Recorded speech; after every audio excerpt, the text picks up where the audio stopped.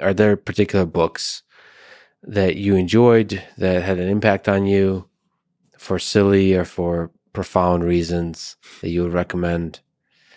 You mentioned the vital question.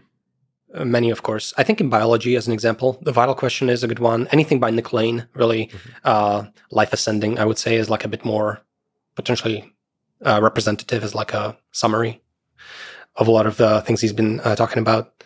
I was very impacted by the selfish gene. I thought that was a really good book that helped me understand altruism as an example and where it comes from, and just realizing that you know the selection is on the level of genes was a huge insight for me at the time, and it sort of like cleared up a lot of things for me. What do you think about the the idea that ideas are the organisms, the memes? Yes, yeah, love it, hundred percent.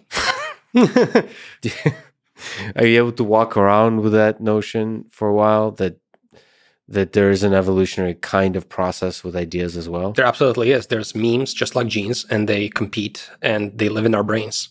It's beautiful. Are we silly humans thinking that we're the organisms? Is it possible that the primary organisms are the ideas?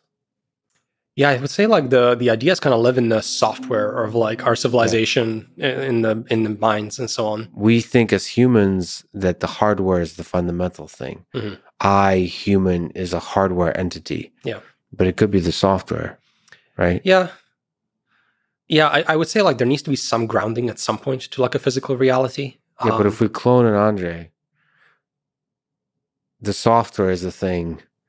Like is this thing that makes that thing special, right? Yeah, I guess I, you're right. But then cloning might be exceptionally difficult. Like there might be a deep integration between the software and the hardware mm-hmm. in ways we don't quite yet understand. Well, from the evolution point of view, like what makes me special is more like the the gang of genes that are riding in my chromosomes, I suppose, right? Like they're the they're the replicating unit, I suppose. And no, but that's just the compute. The thing that makes you special, sure. Well, the reality is what makes you special is your ability to survive based on the software that runs on the hardware that was built by the genes. Um, so the software yeah. is the thing that makes you survive, not the hardware.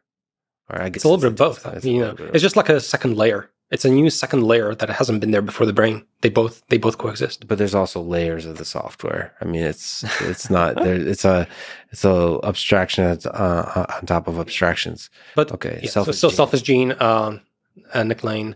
I would say sometimes uh, books are like not sufficient. I like to reach for textbooks sometimes.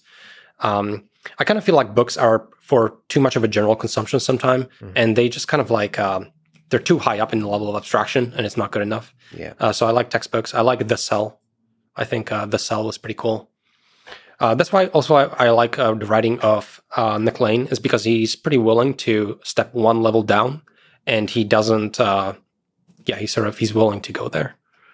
but he's also willing to sort of be throughout the stack. So he'll go down to a lot of detail, but then he will come back up. And I think he has a, yeah, basically I really appreciate that that's why I love college, early college, even high school. Just textbooks on the basics. Uh, yeah.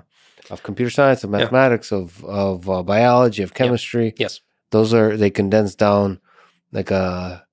Uh, it's sufficiently general that you can understand the, both the philosophy and the details, yeah. but also like you get homework problems and you you get to play with it as much as you would if you were in programming stuff. Yeah. yeah. And then I'm also suspicious of textbooks, honestly, because as an example in deep learning, uh, there's yes. no like amazing textbooks and the yeah. field is changing very quickly. I imagine the same is true in, say, uh, synthetic biology and so on. These books like The Cell are kind of outdated. They're still high level. Like, what is the actual real source of truth? It's people in wet labs working with cells, yeah. you know, sequencing genomes and yeah, actually working with working with it. And uh, I don't have that much exposure to that or what that looks like. So I still don't fully. I'm reading through the cell and it's kind of interesting and I'm learning, but it's still not sufficient. I would say in terms of understanding.